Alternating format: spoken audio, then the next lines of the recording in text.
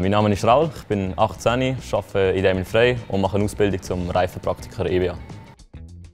Als Reifenpraktiker bist du äh, hauptsächlich angestellt äh, zum Räderwechseln. Also dein Thema, dein, Fachgebiet ist sicher Räderreifen.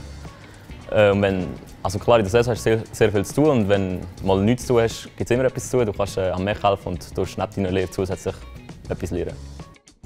Also das Schöne ist ganz sicher, dass du privat in deinem eigenen Auto mal arbeiten kannst. Also kannst Haufen Geld sparen, kannst Räder selber wechseln, kannst mal andere Felgen drauf tun, wenn mal andere Felgen willst. Kannst auch deiner Familie helfen, kannst auch den Kollegen mal etwas helfen oder kannst ihnen auch Tipps geben, wie es du am besten machen würdest. Und das ist ganz sicher das Coole, ja. Du musst ganz sicher ein Fingerspitzengefühl haben, das heisst genau arbeiten. Das ist sicher ganz wichtig und äh, offen und ehrlich können reden. Wenn dir ein Fehler passiert, dann musst du es einfach sagen, das ist klar. Sonst einfach durchbeissen und dann kommt es gut, ja. Du hast eine grosse Anzahl von Automarken, das heisst, du lernst nicht einfach innerhalb zwei Jahren auf der gleichen Marke. Du hast Verschiedenes, du wechselst alle Jahre die Garage. Sagen wir jetzt, äh, hast mal in der Jaguar, Land Rover, Aston Martin gearbeitet, gehst nachher zu der Kia und hast Ford, Subaru und hast Mitsubishi, hast natürlich alles. Das ist Emil Frey ist ein sehr guter Betrieb, familiär vor allem. Äh, sie bietet sehr viel an, allgemein Lehren natürlich sehr viel.